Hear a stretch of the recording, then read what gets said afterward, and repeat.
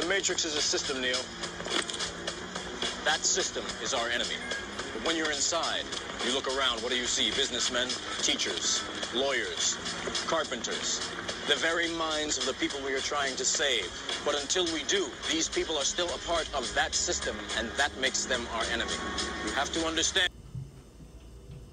Say you'll do the same for me. Virtual Times Square.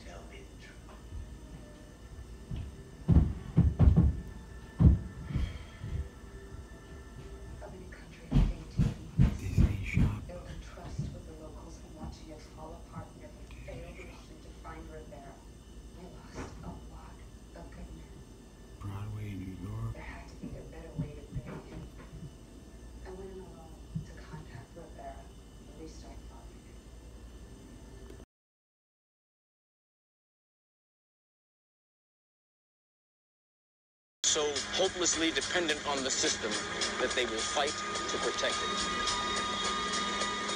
Were you listening to me, Neo? Or were you looking at the woman in the red dress? I was. Look again. Who's it? This. This isn't the Matrix. No. It's another training program designed to teach you one thing. If you are not one of us, you are one of them.